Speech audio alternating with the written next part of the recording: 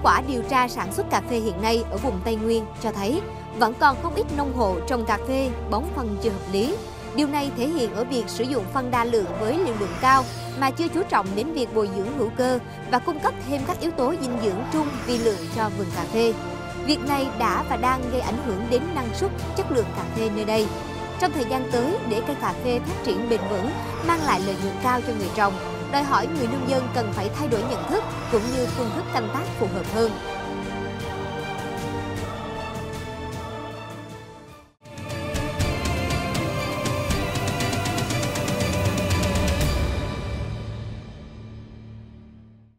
Thưa quý vị, thưa bà con nông dân, trên thực tế thì việc canh tác cây trồng nói chung và canh tác cây cà phê nói riêng ở Việt Nam cho thấy là ngoài việc bón ba chất đa lượng cơ bản đó là N, P, K cho cây trồng thì nhà nông cũng cần phải quan tâm bón đủ các chất trung vi lượng mới có được một mùa cà phê năng suất cao, chất lượng tốt.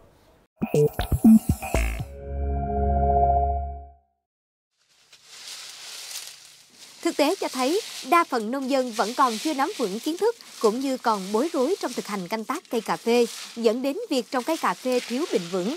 Điều này không những dẫn đến hệ sinh vật có lợi cho đất ngày càng ít đi, mà các triệu chứng thiếu các chất trung vi lượng cũng xuất hiện ngày càng nhiều trên cây cà phê. Ngày xưa chưa có à, cái phân NPK thì bón phân đơn thì cứ theo à, những cái mấy người cái tầng lớp đi trước người ta làm người ta bày cho mình rồi mình à, về mình làm thôi chứ chả không có cái cái kinh nghiệm hoặc cái gì cả. Nên là mình cứ trộn theo người ta vậy thôi thường thường em trộn là cứ à, ba tạ xuân phát một tạ kali với một bao dê. Và trước thì hay trộn lân vào nữa nhưng mà nghe đài báo nói là trộn lân vào là nó, nó, nó kết tủa nó mất cái chất đạm đi nên là sau này không trộn lân nữa mà bỏ lân riêng. Cái thời đó thì bón cây cái đất nó còn đang độ phì nhiêu thì mình bón nó nói chung cũng tạm tạm được. Phân đơn là gồm có kali và sunfat và uze và lân dạ. bằng đấy thứ mình à, kết hợp lại xong mình bỏ. Trộn như thế thì nó mất nhiều công mà nó vất vả. Nó, nó mình à, mất nhiều cái thời gian. Năng suất cây thì, thì cũng không được hiệu quả cho lắm. Theo khảo sát của các nhà khoa học, trong một thời gian dài khi canh tác cây cà phê, hầu hết nông dân chỉ quan tâm làm thế nào để đạt năng suất cao nhất, chứ ít ai quan tâm đến sự bền vững của môi trường sinh thái. Cụ thể là nhiều bà con vì lo sợ bón phân NPK không đủ chất cho cây cà phê, nên vừa bón phân NPK vừa phải bón phân đơn. Kết quả phân tích các mẫu đất tại nhiều vườn cà phê cho thấy, việc này đã gây nên sự mất cân đối dinh dưỡng trong đất. Nhiều vùng đất trở nên cằn cỗi, thành phần đa lượng thì dư thừa, trong khi các chất trung vi lượng lại thiếu hụt. Và các triệu chứng này biểu hiện khá rõ trên lá cà phê như lá non bị mất màu xanh và biến dạng, các đốt đầu ngọn cành, ngọn thân cà phê ngắn lại, lá chuyển vàng bị mất màu xanh hay bị cháy, rụng quả hàng loạt. Đồng thời các loài vi sinh vật và sâu bệnh hại trong đất cũng gia tăng, gây ảnh hưởng đến năng suất và chất lượng cà phê. Theo các nhà khoa học, để quản lý tốt dinh dưỡng cho vườn cà phê trong giai đoạn hiện nay, cần chú ý đến các điểm sau. Bón kết hợp hóa học với hữu cơ, bón cân đối NPK và cung cấp đầy đủ trung vi lượng cho vườn cà phê. Kết hợp sử dụng phân bón lá, nhất là thời kỳ nuôi quả. Theo đó, nông dân cần bón kết hợp hóa học và hữu cơ, vì phân hữu cơ có tác dụng vừa cung cấp chất dinh dưỡng cho cây trồng, vừa cải tạo được đặc tính lý hóa tính sinh học của đất, đồng thời còn có tác dụng làm tăng hiệu quả sử dụng của phân hóa học. Trong các loại phân hữu cơ thì phân chuồng là loại phân lý tưởng nhất cho cà phê và đặc biệt rất cần thiết khi trồng mới. Do phân chuồng có hạn nên cần phối hợp sử dụng tốt các nguồn phân hữu cơ khác. Kế tiếp là bón cân đối NPK và cung cấp đầy đủ trung vi lượng. Cụ thể, cây cà phê được chia thành hai thời kỳ, thời kỳ kiến thiết cơ bản và thời kỳ kinh doanh. Ở từng thời kỳ, nhu cầu dinh dưỡng của cây khác nhau. Thời kỳ kiến thiết cơ bản, tính từ lúc trồng mới cho đến năm thứ ba sau trồng, dùng các loại NPK có thành phần đạm và lân cao như loại NPK 16 16 8 hoặc 20 20 15 để bón trong mùa mưa. Trong mùa khô thì bón loại phân tan nhanh như NPK 20 5 6 cộng TE. Thời kỳ kinh doanh, khi cây cho quả nhiều thì cần đạm và kali nhiều hơn lân. Dùng các loại NPK có thành phần đạm kali cao và lân thấp như NPK 16 8 16 hoặc 25 10 20 để bón trong mùa mưa. Mùa khô cũng dùng loại phân tan nhanh NPK 2056 để bón. Nghe người ta hội thảo về người ta nói cái trung vi lượng rồi à, ấy về thì mình vậy thôi chứ mình thực tế mình cũng chưa hiểu rõ cho cái trung vi lượng cho lắm. Chính vì vậy nên là mình à, bỏ phân mà bớn nhiều khi là không biết trong đất nó thiếu những cái gì mình bỏ nên là nó nhiều khi cái, cái kiến thức nó chưa có nên là bỏ phân nó nó hay bị bị dư phân. Có khi thừa cái chất này mà thiếu cái chất khác. Là cái vấn đề mà bà con nông dân là rất nan giải trong cái đấy, mà hầu như ai cũng thế. Nên là nói chung là muốn mong ờ, công ty phân hay là nhà nước có những cái chính sách hay có những cái gì đó giúp đỡ cho bà con làm sao mà đầu tư ít mà nó bỏ phân làm sao cho nó hiệu quả chất lượng với đối với cây cà bây giờ bỏ thì cứ bỏ mò mò vậy thôi không biết lối nào mà mà mà, mà, mà tính được Ngoài ra các nhà khoa học cũng khuyến cáo ngoài các yếu tố đa lượng như đạm lân kali Cây cà phê còn cần các chất trung lượng như lưu huỳnh, canxi, magie, silic và các chất vi lượng như bo, kẽm, đồng. Đối với các vườn cà phê được thăm canh cho năng suất cao trên 4 tấn nhân trên 1 hecta trong nhiều năm, cần đặc biệt chú ý cung cấp các yếu tố trung vi lượng cho vườn cây. Do đạt năng suất cao nên sản phẩm cà phê cũng lấy đi rất nhiều các chất đa trung và vi lượng. Trong đó có nhiều loại phân hóa học không có hoặc có rất ít các chất trung vi lượng. Do vậy, lâu ngày sẽ sinh ra hiện tượng thiếu trung và vi lượng trên vườn cà phê. Hiện nay, để đáp ứng với yêu cầu bón cân đối giữa đa lượng, trung và vi lượng, các loại phân bón tổng hợp NPK đã phối trộn thêm vào thành phần trung và vi lượng có ích cho cây trồng, như các loại phân 20, 20, 15 cộng TE, 16, 8, 16, 13S cộng TE, NPK 16, 16, 8 cộng 6S cộng TE, NPK 16, 16, 13 cộng TE, hay NPK 19, 16, 6 cộng TE, 16, 6, 19 cộng TE. Các loại phân này bón cho cà phê rất tiện lợi và hiệu quả.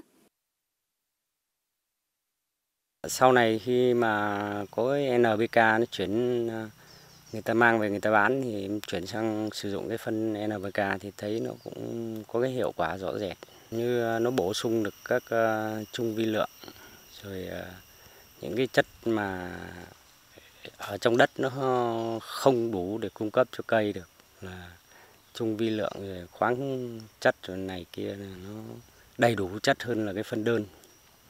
Và nó giảm có cái hay cái là nó giảm được cái độ bốc hơi. Phân NPK thì bỏ rất tiện rất nhanh mà làm à, rất hiệu quả. Từ cái đợt chuyển sang à, NPK em cải tạo cái vườn cây nó tuy cái độ tuổi nó già nhưng mà nó vẫn cứ thu đều đều. Là bình quân được khoảng cỡ à, 3 tấn rưỡi một hạt. Ngoài ra để đạt hiệu quả cao, đặc biệt là thời kỳ cây cho quả, nông dân nên dùng phân bón phun qua lá để thay thế một phần việc bón phân qua đất. Khi bón phân qua lá có thể giảm bớt lượng phân bón hóa học vào đất và nhờ vậy có thể làm giảm bớt tác dụng bất lợi của phân bón hóa học và dẫn đến môi trường đất như làm đất chua nhanh, mất kết cấu. Phun phân bón lá cũng có tác dụng nhanh do cây sử dụng được dinh dưỡng hiệu quả hơn bón vào đất. Phân bón lá thường được phun cho vườn cà phê từ 2 đến 3 lần trong mùa mưa sẽ có tác dụng làm giảm tỷ lệ rụng quả và tăng năng suất cà phê rất rõ. Điều quan trọng nhất trong quá trình bón phân cho cây cà phê là phải biết được nhu cầu của cây trong từng thời kỳ sinh trưởng, như bón lót cho trồng mới, cho thời kỳ kiến thiết cơ bản, thời kỳ kinh doanh và trong từng giai đoạn nhất định mà sử dụng loại phân bón hợp lý.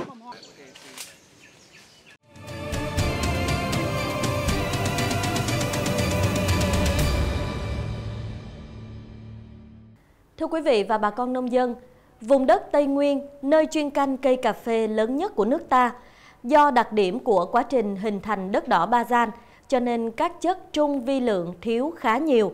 Do đó mà muốn tăng năng suất và chất lượng của cà phê, thì bà con cần phải chú ý để bón bổ sung cho cây.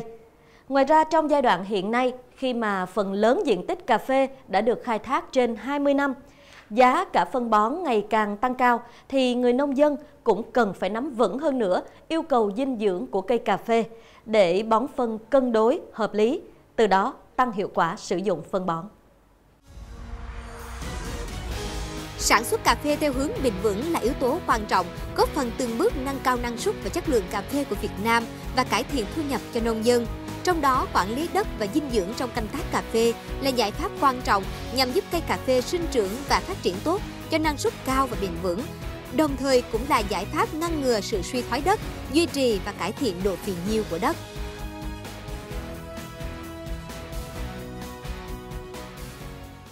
Như chúng ta đã biết là Tây Nguyên là một cái vùng trồng cây công nghiệp chủ lực, cây công nghiệp xuất khẩu chủ lực của Việt Nam.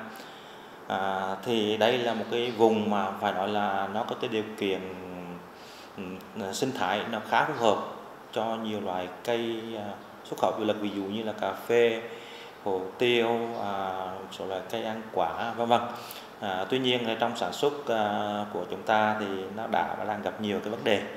À, trong đó à, có vấn đề về về về về quản lý à, nguồn tài nguyên đất thì thật ra mà nói thì không phải bất kỳ một cái à, nông dân nào hay hay là hay là cái sản xuất nói chung của chúng ta đã làm cho uh, sử dụng phân bón nó cũng làm cho suy thoái đất trong quá trình vừa qua. Thực tế nhưng phải. Thì qua cái quả nghiên cứu của chúng tôi cho thấy rằng là những cái uh, uh, nông dân nào uh, mà sử dụng phân bón hợp lý nó cân đối thì độ phì đất ngày càng được cải thiện chúng ta khẳng định nhau nhau như thế. À, còn à, một số nông dân thì người ta sử dụng phân bón không không hợp lý tức là không có cân đối à, rồi không chú ý sử dụng phân hữu cơ kết hợp với những cái giải pháp à, à quản lý cái việc sỏi mòn và đối đất thì nó làm cho đất đai bị suy thoái. Nhưng mà nhìn chung á, à, có thể nhìn thấy rằng ví dụ như cây cà phê nhà hàng thì trong vòng khoảng hai chục năm à, canh tác thì cái chiều hướng à, mà giảm làm giảm cái chất lượng đất là đã và đang xảy ra bởi vì thực tế thì khoảng ờ, trên trên 50 phần trăm nông dân của chúng ta nông dân trồng cà phê chúng ta là sử dụng phân bón không thực sự hợp lý. Nên điều đấy nó dẫn đến cái chuyện mà cái độ phì đất nó bị suy giảm. Và đặc biệt là cái chất lượng đất trong ờ, đối với trồng cà phê thì ngày đang có xu hướng suy giảm. Thì đây là vấn đề mà chúng ta cần phải quan tâm trong sản xuất cà phê à, thời gian tới. À, tất nhiên là để mà cải duy trì cải thiện độ phì nhiêu đất thì chúng ta áp dụng một cái hệ thống giải pháp kỹ thuật canh tác. À, trong đó có vấn đề sử dụng phân bón. À, chúng ta có thể là bón à, chúng tôi khuyên cáo là à, đối với cà phê hồ tiêu thì chúng ta nên lưu ý là tăng cường sử dụng phân bón phân hữu cơ. Bởi vì nếu chúng ta sử dụng phân hữu cơ được thì nó làm cho cải tạo được cái tính chất vật lý và hóa học đất. Nó làm cái, cái tăng cái tính giữ nước à, tăng cái tính giữ uh, màu giữ dinh dưỡng đấy. Thì do vậy nó làm cái cái độ phì đất ngày càng được cải thiện hơn. À, ngoài ra thì chúng ta phải lưu ý là bằng cân đối giữa các nguyên tố đa trung và vi lượng đặc biệt là cân đối giữa đạm và lân và kali. À, bên cạnh đó thì chúng ta cũng phải bổ sung thêm cái trung vi lượng. Bởi vì thật ra thì trong quá trình mà canh tác à, à các loại cây công nghiệp dài ngày à, nói chung thì bà con chúng ta ít quan tâm đến việc cung cấp phân vi lượng cho cho cây.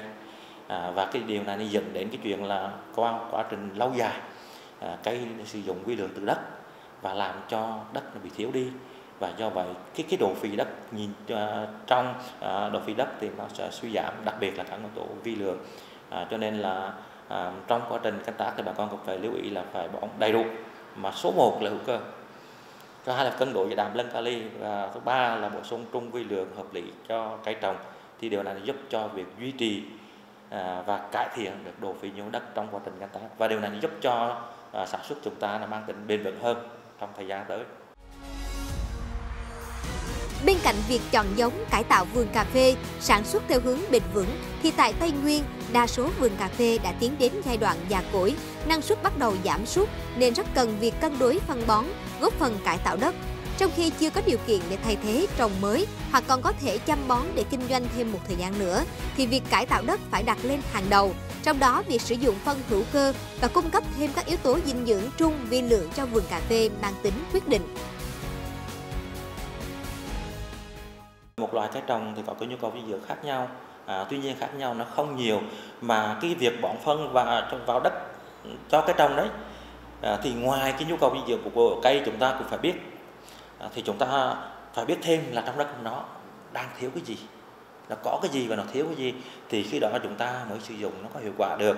Còn à, thực ra hiện nay là đa số nông dân chúng ta là sử dụng phân bón thứ nhất là theo cái cái cái cái cái cảm tính rồi thứ hai nữa là theo cái thời giá có nghĩa là khi mà giá sản phẩm nó cao thì bà con sử dụng phân bón nó nhiều. Và khi sử dụng phân bón nhiều mà không có cái tất thì càng mất mất cân đối. Và khi mất cân đối như vậy thì tốc độ suy thoái về độ phì đất phì nhiều nhiều đất thì nó xảy ra nhanh hơn. Đấy thế đấy là cái cái cái cái cái hệ lụy của chúng ta sử dụng phân bón theo cái cái cái cái, cái gọi là theo cái cái cái cái cái, cái, cái tình huống của thị trường à, chứ chúng ta không sử dụng phân bón theo cái cái nhu cầu dinh dưỡng của các cây theo cái năng suất thu hoạch và theo cái độ phì đất. Thì hiện nay ở viện à, khoa học kỹ thuật nông, nông lâm nghiệp tây nguyên của chúng tôi thì à, khuyến cáo người nông dân bỏ phân theo cái độ phì đất. À, tức là bỏ phân à, bỏ, à, theo độ phì đất và năng suất. Tức là ví dụ như cà phê để à, cái vườn cà phê mình thu hoạch được 5 tấn à, và chúng ta biết được cái độ phì đất trên vườn đấy bao nhiêu đấy thì thì sẽ sử dụng phân bón nó sẽ hiệu quả hơn và cái việc này thì viện cũng đã làm rất nhiều năm rồi. Hàng năm thì cũng có rất nhiều nông dân người ta cũng tự lấy mẫu đến à, người ta phân tích đất à, và sau đó viện sẽ đề xuất cái quy trình bón phân dựa vào cái độ phi đất và cái năng suất đạt được. À, và như vậy thì hiệu quả kinh tế nó mang lại nó, nó tốt hơn. Đặc biệt à, là cái hiệu quả xã hội và, và hiệu quả môi trường.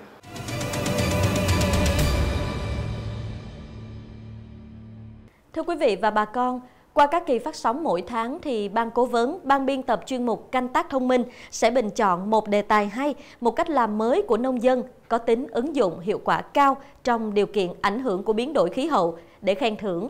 Và chúng tôi rất mong sẽ nhận được đề xuất của quý vị và bà con nông dân về các mô hình mới và hay trong nông nghiệp. Mọi thư từ góp ý, quý vị và bà con nông dân hãy gửi về cho chúng tôi theo hộp thư canh tác thông minh vtv9 a gmail.com hoặc là qua tổng đài 1900 1773. Cảm ơn quý vị và bà con nông dân đã theo dõi chương trình. Chúng tôi chân thành cảm ơn công ty cổ phần phân bón Bình Điền đã đồng hành cùng với chương trình. Xin kính chào tạm biệt. Thay vì sử dụng thuốc bảo vệ thực vật để phòng trừ sâu bệnh hại cho cây trồng, thì hiện nay việc dùng thuốc trừ sâu sinh học để thay thế đang là giải pháp hữu hiệu, được nhà nông tin dùng vì độ an toàn và thân thiện với môi trường. Không những vậy, tại nhiều địa phương, nông dân còn có thể tự pha chế thuốc trừ sâu sinh học bằng các loại thảo mộc quen thuộc trong cuộc sống hàng ngày để phòng trừ một số loại sâu bệnh rất hiệu quả. Nội dung cụ thể sẽ có trong chương trình canh tác thông minh tuần tới.